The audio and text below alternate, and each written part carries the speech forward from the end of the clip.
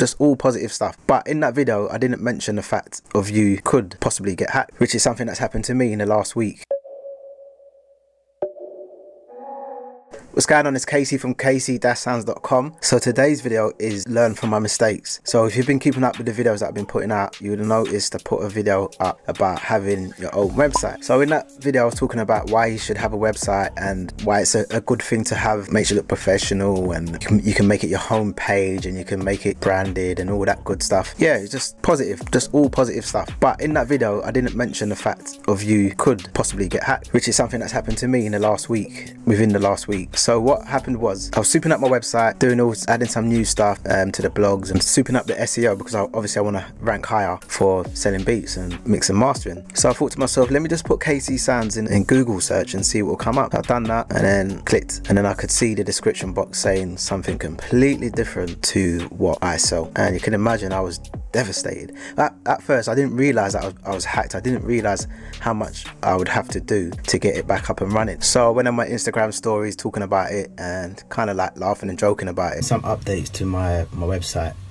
um, sorting out the SEO and stuff like that, yeah.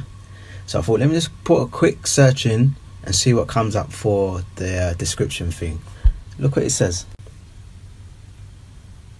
after laughing and joking about it, I think about a couple of hours later, I realised that I'd been hacked and it's going to cost me quite a bit of money to sort out unless I can do it myself. And so I got on the phone to my web hosting. They quoted me a price for them to fix it, and I was just like, wow, that's a lot of money. I thought it's just going to be like a little plugin that's caused my website to crash. So after talking to my web hosting, they said to me that I've been hacked and there's malware on my actual website. So I'm using the WordPress plugin, which is something I've, i spoke about in my video saying that, yeah, you should use this plugin as well. Like, don't get me wrong, the plugin's nice. It's uh, It looks the part, but then there's also these other factors that you need to think about and have in place to make sure that you don't get hacked and that your security is up to scratch, watertight. So I spent a good couple of days researching how to get rid of malware, what plugins I can use to get rid of the malware in the WordPress backend, and it, it set me back. It did set me back a good couple of days. I had obviously other people's work gigs, um, mix and mastering to do. I had stuff I wanted to put on YouTube that I couldn't because I had to put that on the back burner just to sort this website out because I didn't want people to go and put KC Sounds in or go and look for beats and then click on it and then see that I'm selling because something completely different, which is not good for a first time client or a first first time uh, visitor. So this video is just about you learning from my mistakes. Don't make the same mistake that I did. If you're one, if you're wanting,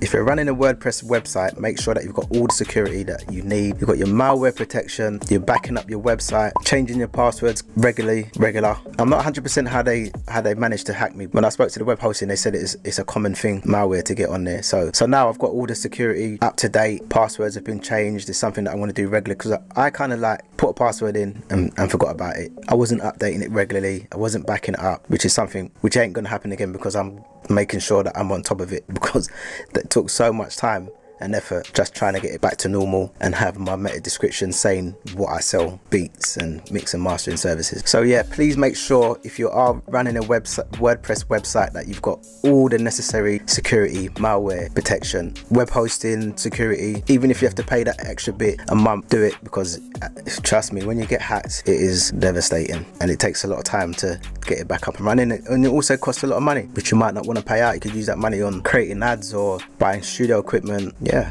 just learn from my mistakes.